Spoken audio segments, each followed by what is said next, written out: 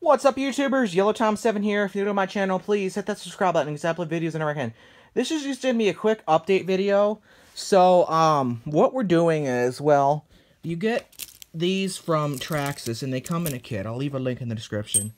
I think you get maybe, like, four, and then this you get this wrench also, and a bunch of these little screws, and then you also get, like, two, just two, two, like, normal ones and um, what we're doing is, so we're we're taking these little black things off, you know, and then the little little thing right there, and we're putting them in these RPM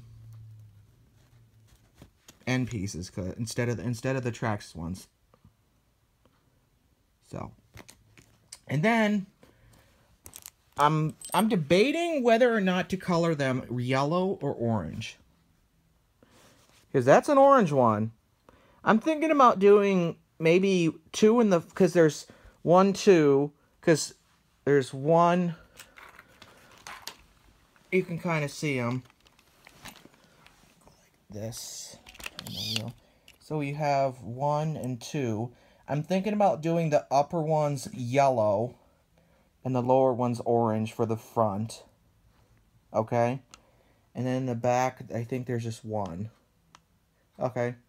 So guys, that's just a quick update video. Um, we did get the RPM Nerf bars installed. Um, still waiting on that, that front skid plate. But anyway, guys, I will catch you in the next one. Peace.